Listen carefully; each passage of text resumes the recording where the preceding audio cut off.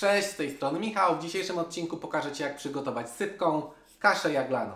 Bez różnych dziwnych trików typu całonocnego namaczania, pukania na sitku zimną, gorącą wodą. Zobacz jak przygotować ją najszybciej.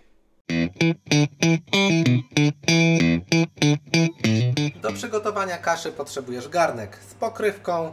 Włączamy palnik, wsypujemy kaszę do środka. To była taka typowa szklanka z Ikei, porcja dla dwóch osób, 160 gramów kaszy jaglanej.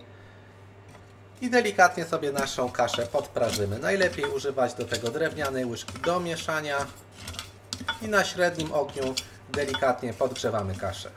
Po paru minutach prażenia kaszy słyszycie takie strzały, coś podobne jak popcorn. To znaczy, że kasza już jest fajnie uprażona. W całym domu też powinno już delikatnie, ładnie pachnieć e, kaszą jaglaną. E, dodam szczyptę soli. Jeszcze zapomniałem wcześniej dodać, że kaszy nie płukałem wcześniej. Użyłem kaszy prosto z opakowania. I kaszę przygotowujemy w proporcji z wodą 2 do 1, czyli na szklankę kaszy jaglanej użyję dwóch szklanek wody.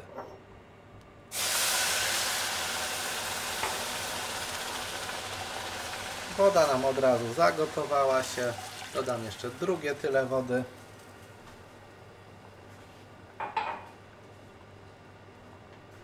I doprowadzamy wodę do wrzenia.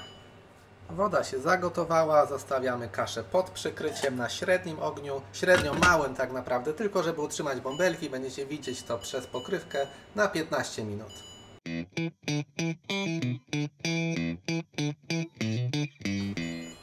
15 minut gotowania za nami, kuchenka się wyłączyła. Nie podnosiłem pokrywki, zobaczycie co nam wyszło.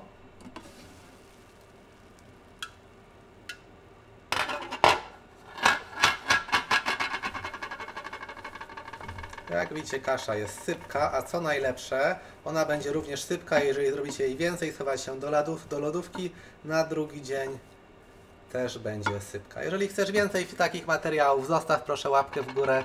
Dla mnie to będzie informacja, żeby nagrywać więcej podobnych filmików, a najlepiej to subskrybować kanał. Dzięki, że oglądaliście do końca. Cześć!